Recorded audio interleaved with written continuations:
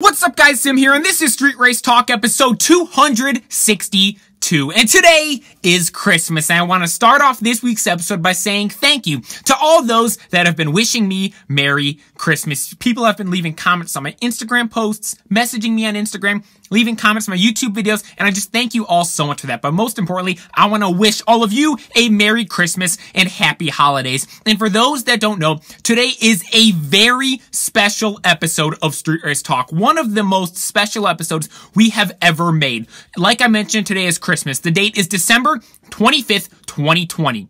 Street Race Talk episode 262.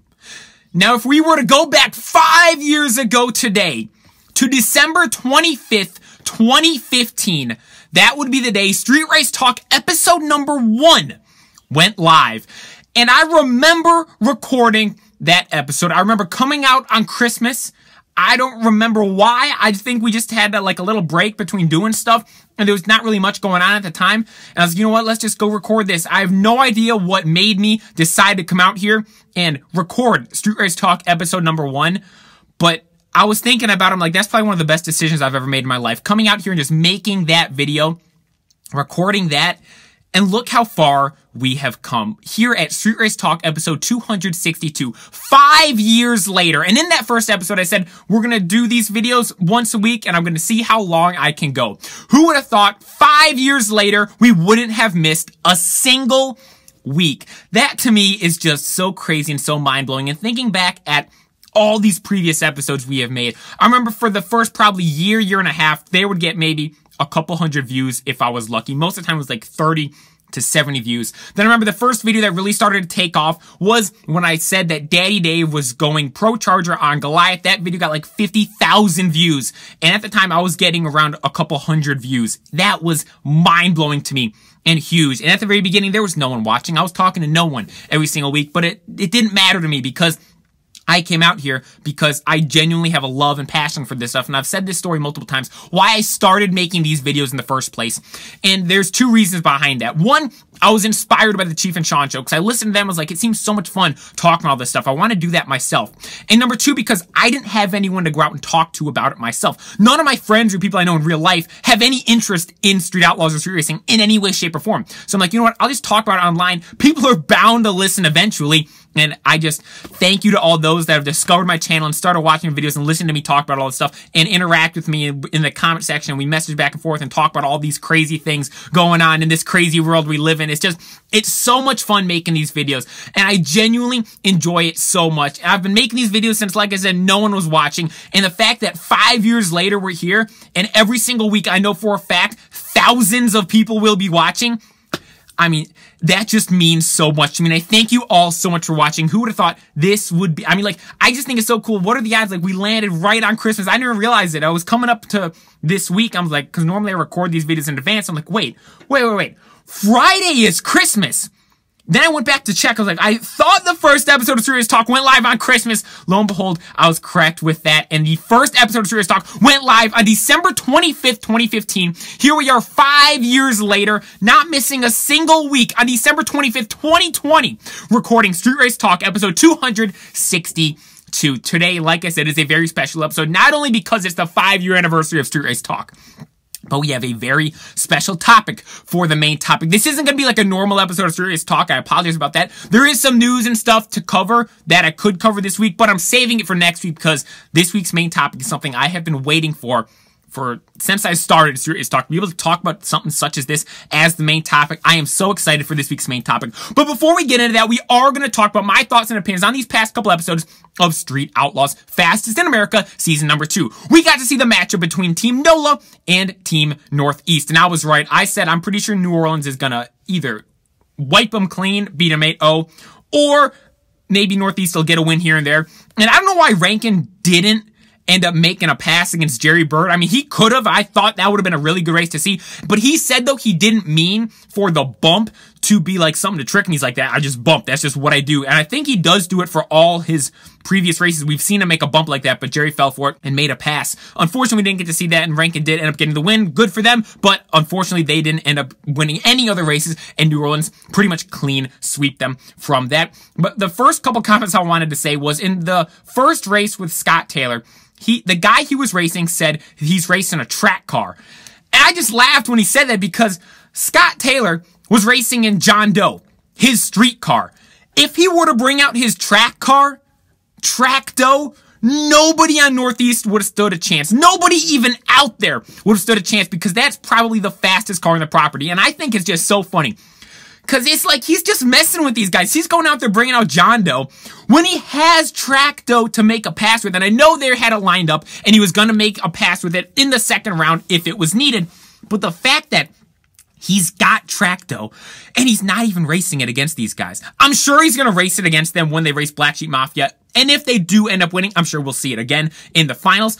But it, the fact that he has track Doe and he's still racing John Doe, I just think it's so funny because like that's probably the fastest car out there in my opinion. I mean that track Doe has been insanely fast out there. And then in the finish line shot of Kye's race in the aftershock, you saw something like get shattered or something. It was either a camera, a GoPro, a flashlight. I don't know what it was. It looked crazy though. It showed like a slow-mo shot kind of of the cars crossing the finish line. then something just like exploding or shattering in the middle of the road. I, I thought that was pretty cool seeing that in there. Then in the very last race, the guy Daniel in the green Mustang, he either made one of the fastest passes we've ever seen out there, or they just cut it super quick with the cameras. I'm pretty sure that's what it was because it looked like he was flying, and I'm sure he made a fast pass regardless, but it looked like he was on another level. I'm assuming though it was just the camera work because if he really did lay down probably the fastest pass out there, I'm sure there would have been commentary of people saying that. So it, it looks like it was just actually the camera work that it made it look super fast, but it looked like, man,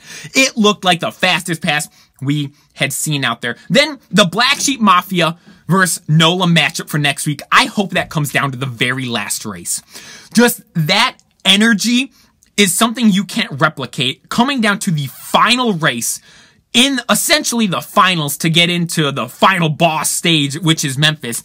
Just seeing Black Sheep Mafia NOLA, how Black Sheep Mafia came from NOLA, and just how fast all those guys are, like the camaraderie between them. I really hope it comes down to the final race because that will just make for such not only a good race, a good episode. I really hope it does come down to the final race. And then it was so funny when they were talking back and forth Bobby said, no one can mess with us right now. Then JJ said to him, well, we beat you guys last year. I just thought that was hilarious. And the fact that they added that in, and they did like a real short cut right after too. Like Bobby said that and instantly cut to JJ, well, we beat you guys last year. I just thought that was so funny that they added that in. And then in the race with James in the silver Camaro from Cali, I believe he was racing Jerry Bird in the probe. When he was staged, he had like green flames spitting out of his exhaust. It looked gnarly. It was just, I mean, I'd never seen green flames come out of a car out there previously. It just looked insane. But overall, I thought these were some very good episodes and I am really looking forward to next week's episode of Black Sheep Mafia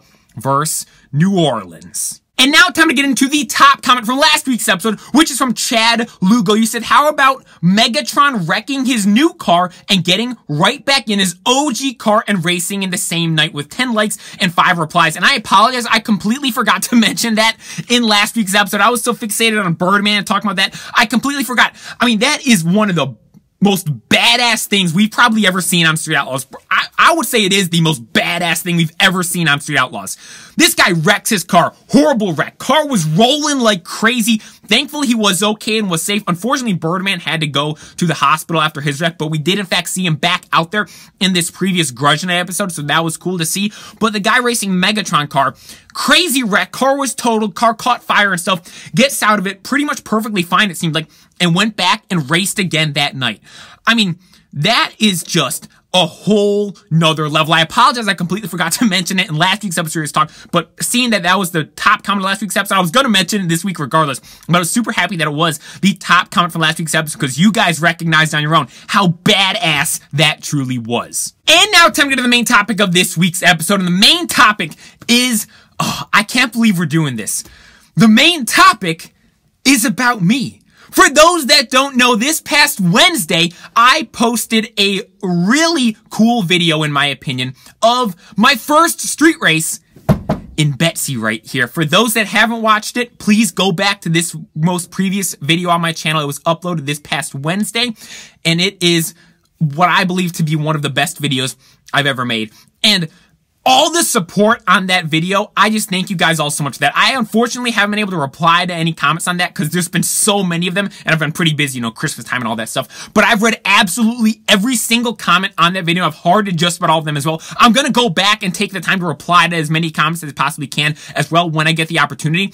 But there were so many people not only leaving comments saying how cool they thought like the story itself was, but you guys that I, it just, this means so much. People were recognizing how I made that video and said, like, yes, the, content of the video itself was super cool. I mean, I raced Betsy for the first time. That was amazing. But you guys loved the delivery of how I made it. And that video kind of came full circle with my channel.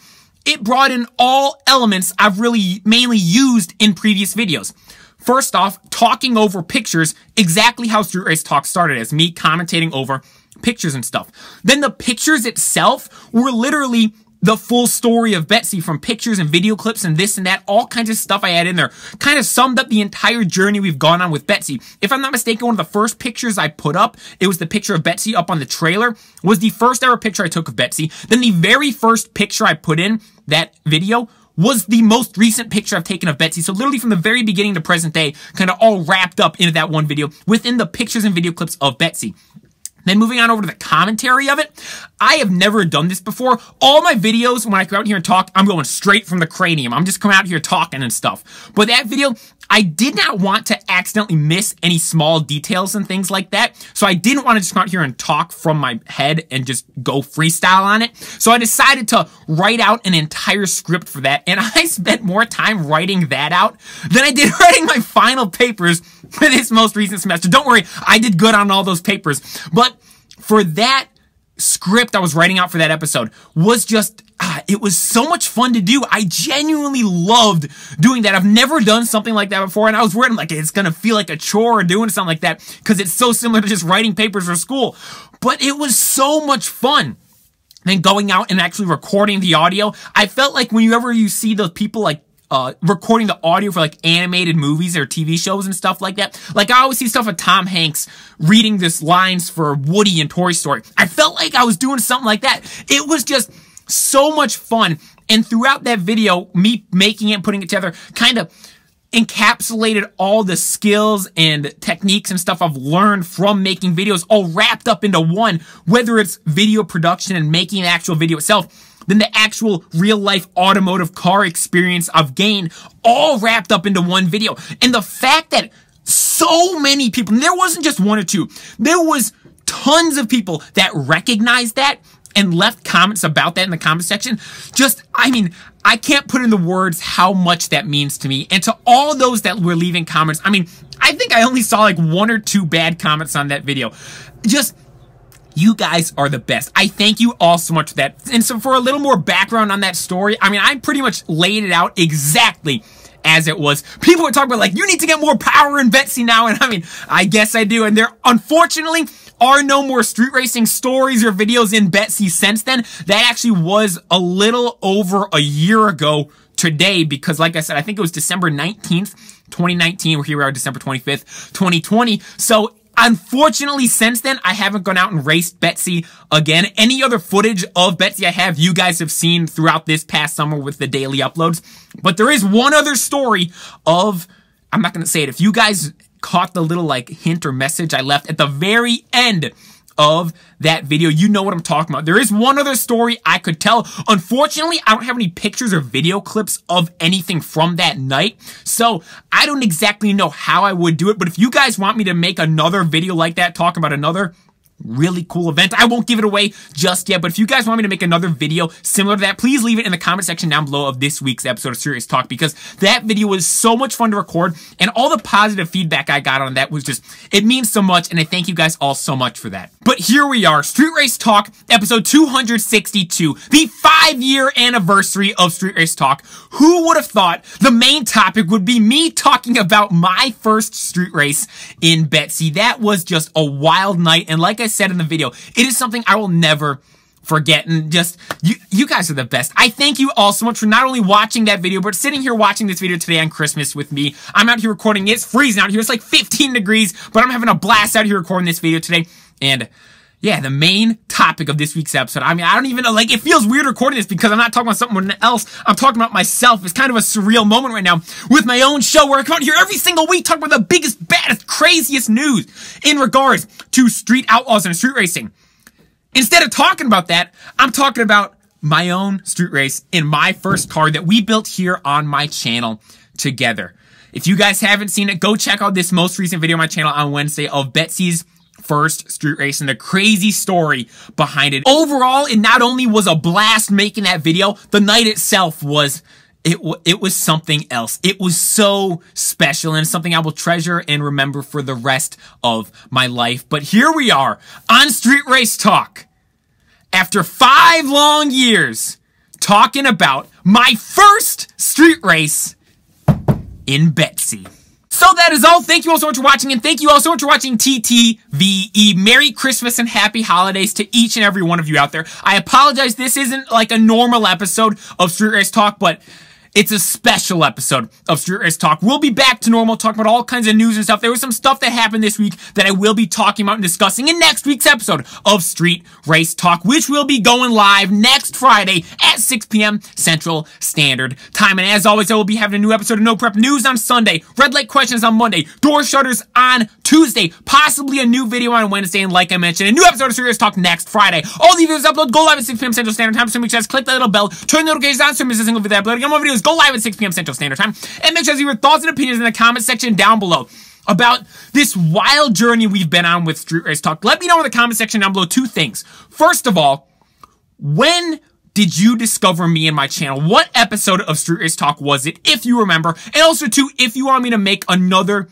story similar to my first street race in Betsy? Leave that in the comment section down below. Top comment from this week's episode will be read in next week's episode of Street Race Talk. And make sure you guys check out the Betsy shirts and hoodies, which are available at ZoomisXYZ.com or first link down below in the description. I also set up a P.O. box, so if you guys want to send me stuff, address is down below in the description. But again, that is all. Thank you all so much for watching and Merry Christmas and Happy Holidays to each and every one of you. Here we are on the five year anniversary of Street Race Talk. This was a very special episode, and this this will probably be one of my favorite episodes of Race Talk I will ever record because for the first time in the history of Race Talk, on the five year anniversary, we got to talk about for the main topic, not some crazy street racing news in the Street Outlaws world, but some crazy street racing news in my own world, that being my very first street race in Betsy. And I thank you all so much for watching this video. Like I said, Merry Christmas and Happy Holidays to each and every one of you. Don't forget to like and subscribe, and this is Sim, ABC XYZ, signing out.